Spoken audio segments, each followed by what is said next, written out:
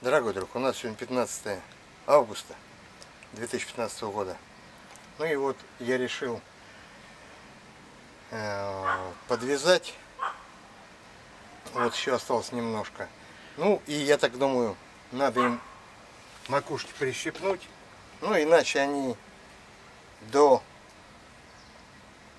ну, до конца сезона э, вот эти новые э, цветоносы, ну они может быть зародятся, но не вызреют. Если э, само растение будет, ну, сама макушка будет расти.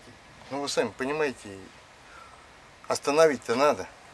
Вот. Так что я вот сейчас макитры им э, пообломаю. Ну, можно даже вот этими пасынками. Вот видите, какие здоровые пасынки. Ну, от них уже нет толка, но можно было макушку выщипнуть, а листики оставить.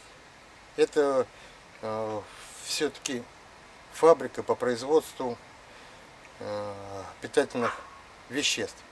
Ну, я решил его выломать. Ну и вот смотрите, естественно, все пасынки мелкие.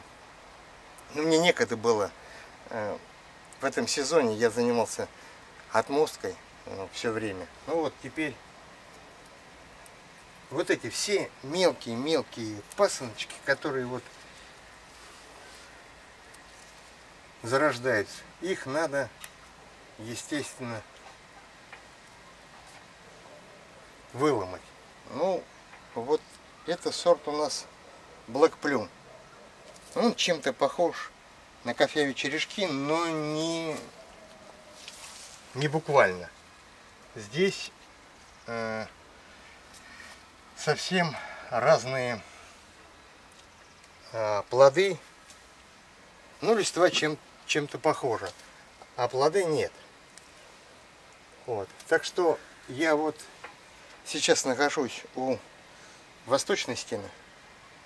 Сейчас я перейду на южную и потом на западную.